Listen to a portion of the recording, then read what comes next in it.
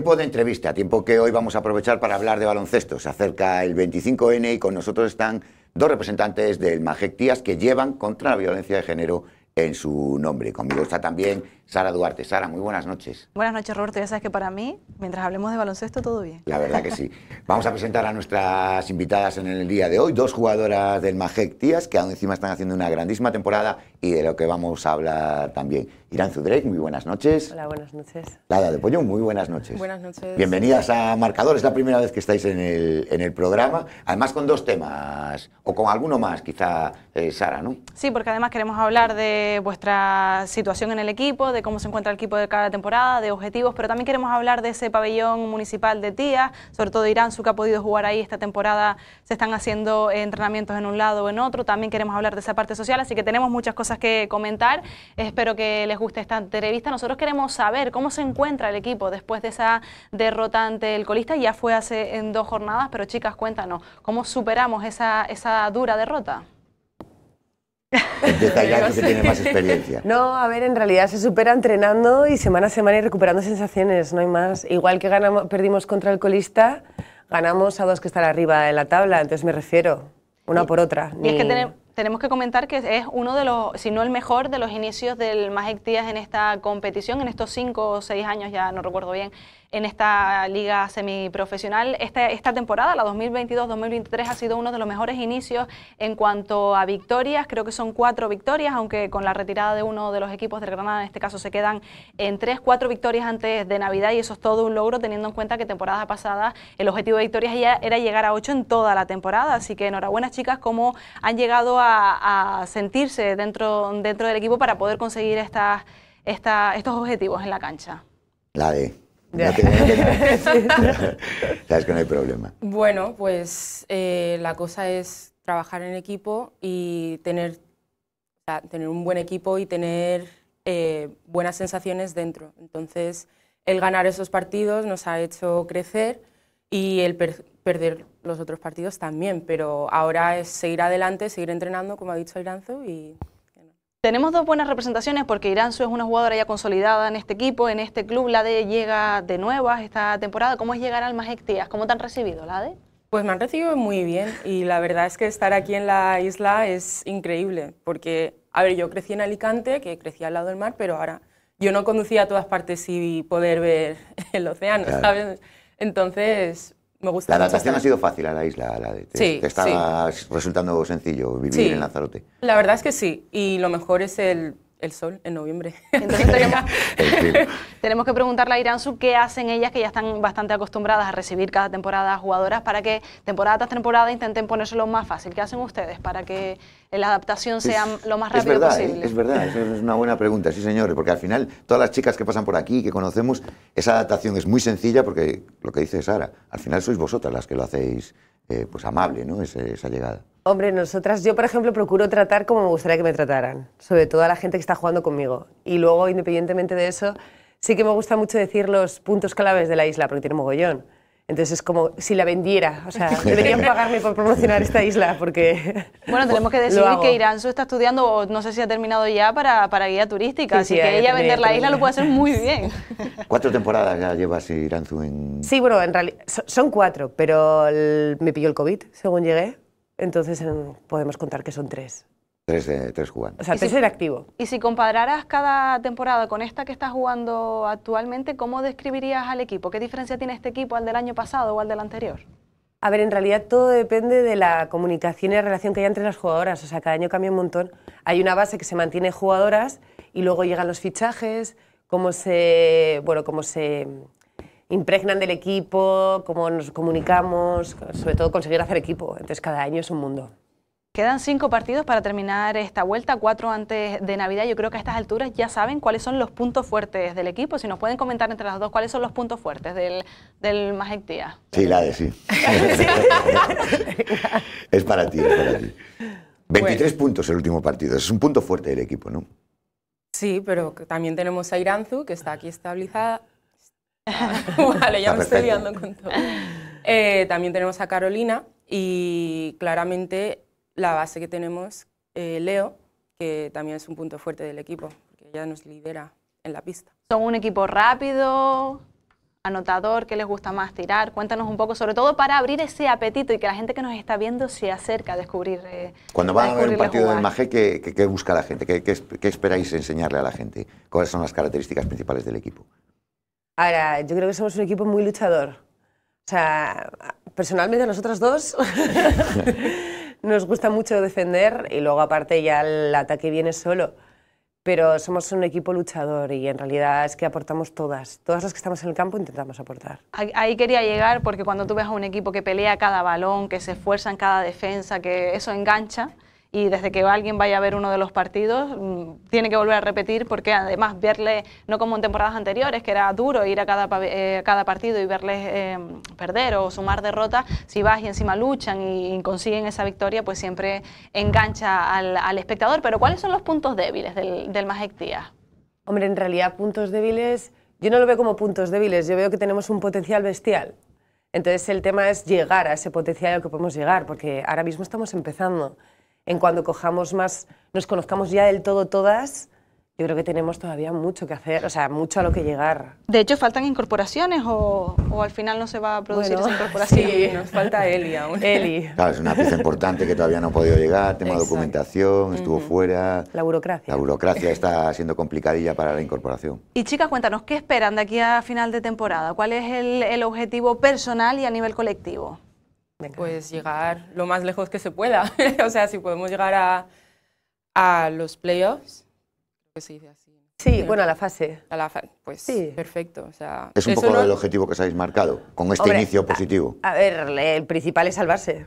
O sea, primero es mantener la categoría y una vez que consigas mantener la categoría ya empiezas a mirar Si no sumo mal, que creo que no lo hago, con cuatro victorias más estaríais salvadas ya lleváis. Hay que conseguirlas, ¿eh? que cada partido es una, una batalla. Y el problema de esta liga es que nunca se sabe y que contra cualquier equipo puede pasar de todo. Bueno, ya lo, hemos visto, han perdido contra el colista, pero es que han competido a punto de ganar contra los primeros equipos. Entonces están ahí, ahí, cada partido es un mundo, así que las sensaciones por ahora son buenas, ¿no?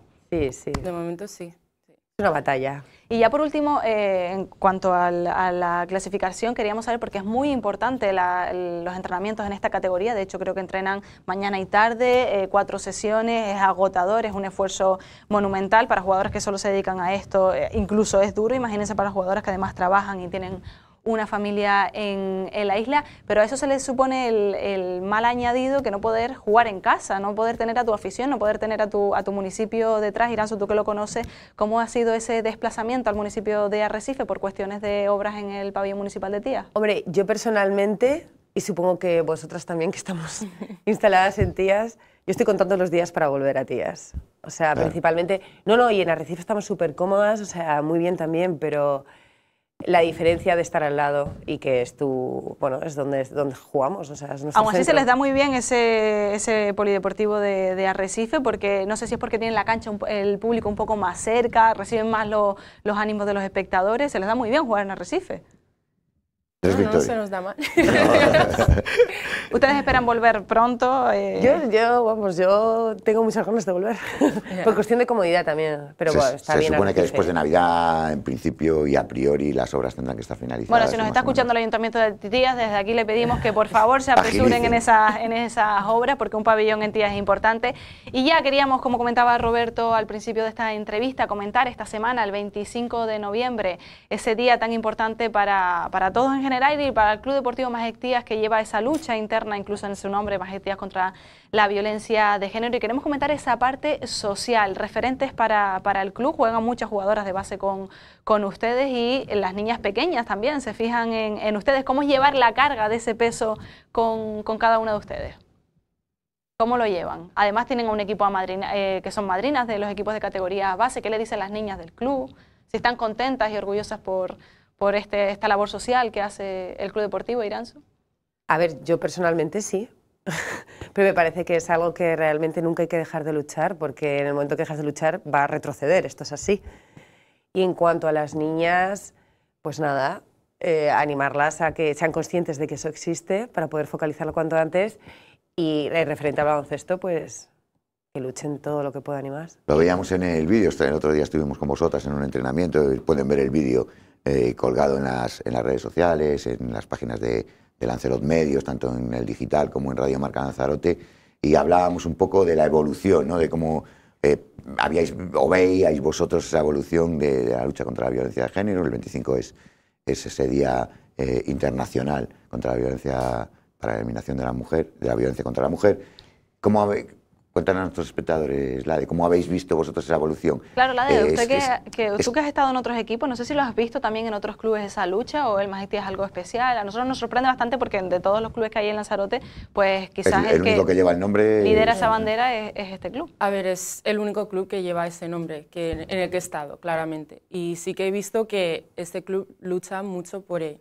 Y la verdad es que es mi primera vez que estoy en un club que tiene también equipo masculino. Entonces no sé, yo todos los clubes en los que he estado era solo femenino y estaban todas enfocadas en el equipo femenino, pero también tengo amigas en otros equipos, en los equipos que tienen equipos masculinos, en el que estaban muy, muy enfocados en el equipo solo masculino y el femenino lo dejaban atrás. Se notaba esa diferencia, ¿no? Exacto. un poco lo que comentaba Iranzo, que desde que pierdes el foco, eh, pierdes el, sí. eh, la idea y al final te, te dispersas. Estamos viendo el vídeo que, que, yo creo que quedó muy chulo, eh, con vuestras intervenciones en, eh, lo podéis ver, esas son lo que, lo que nos sirven nuestros compañeros, un, unas colas sobre el vídeo que se, que se montó en Lancelot. Roberto, ya claro. que la estamos, lo estamos viendo, no sé si podemos pedir a las chicas que se mojen un poco y nos cuenten anécdotas o cosas que pasan durante los viajes, porque al final pasan mucho tiempo juntas. Cuéntanos quién es la jugadora a lo mejor más graciosa o, o más atrevida. Si nos pueden contar eh, secretos de este interno de este, de este equipo, que ahí lo estamos viendo.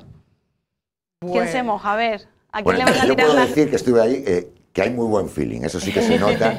La verdad es que se lo pasan bien, pues, eh, aparte de desplazar desde Tías hasta Arrecife, lo comentaba Iranzu, normal que quieran volver a, a su municipio, pero se encontraron cómodas, el equipo transmite un buen rollito y la verdad es que lo, se ve en la cancha después. ¿Quién es la más traviesa fuera de la pista?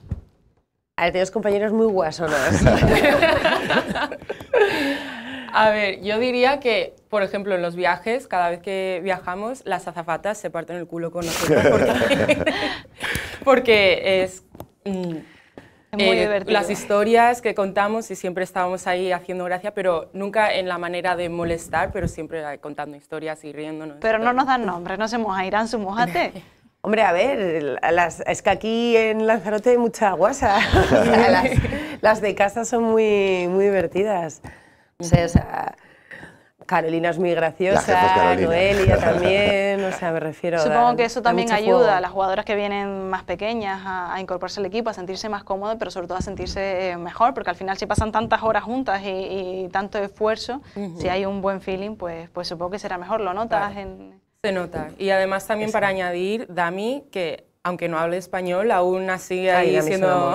sí, es un amor y muy gracioso. De hecho, en el vídeo que, que sales algunas sonrisas, que tiene una sonrisa siempre de oreja a oreja, sí, sí. Es, es, puro amor. Sí, sí, sí, sí, la verdad que estuvo muy, muy bien ese día, que ese, ese rato que compartimos.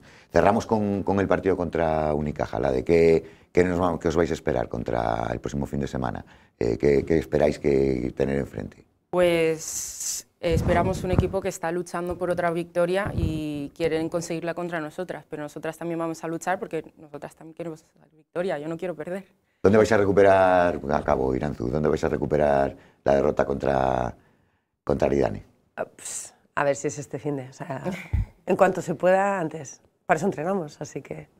Hay que recordar que el, el, Unicaja solo lleva dos victorias, así que eh, esperamos que consigamos esa, que consigan esa victoria por vuestra parte. Muchas gracias, chicas, por estar aquí con nosotras. No será la última vez porque esperamos volverlas a tener eh, Lo dije de a Carolina vuelta. que cuando siguieseis ganando ibais a volver.